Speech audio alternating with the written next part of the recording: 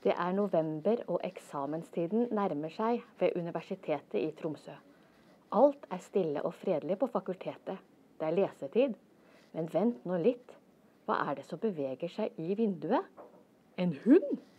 Vi er her i dag for vi skal ha et sånt pilotprosjekt om eh, å ha hund med for å roe ned eksamensnerver og studenter på helsefag. Og I dag så er det psykologi som er invitert. Og vi har med han Loke, som er utdanna besøkshund.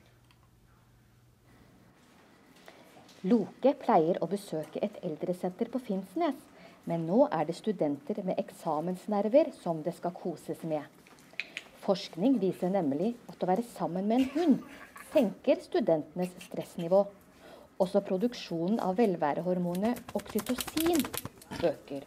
Sitt. Og om Loke er lydig? Vær så god.